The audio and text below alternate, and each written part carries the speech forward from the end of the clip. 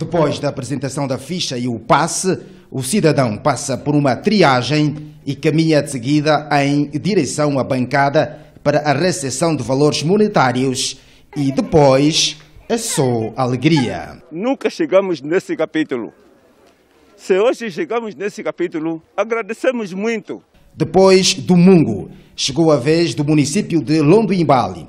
Aqui vão ser beneficiadas mais de 30 mil famílias. Quenda está a fazer tudo o que é possível para poder ajudar a população angolana. 25.500 que eu recebi, é, vou tirando a fuba para me juntar com a, com a minha família, a, as minhas crianças. Ah, o resto, o que sobrar, vou comprar o adubo. Este é adubo para adubo, é, semear com ele o feijão. É, para este, este feijão é, é, dar bem. Quem tem visão, que consegue trabalhar com o dinheiro, comemos bocado, bocado também guardamos para fazer outros projetos.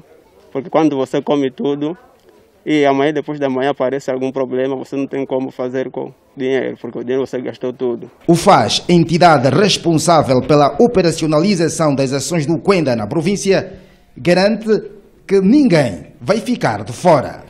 Estamos a fazer esse processo todo, estavam de fora, uns porque estavam fora do, do município, outros porque estavam internados, não se chegou até o, o hospital, em alguns casos, Outros temos duplos, duplos registros, então temos que fazer esse processo todo para não haver falha. Aqui o processo também vai continuar o mesmo.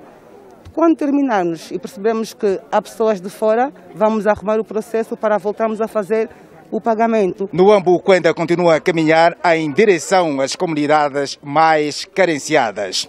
O processo de transferência monetária começou no município do Mungo, segue agora ao município de Londoimbali e depois seguir-se-ão outros, como o Caxiungo e a Ecunha. Com imagens de Celestino Caeso, João Songa, a partir da comuna da Galanga, município de Londoimbale, Uambo. Thank you.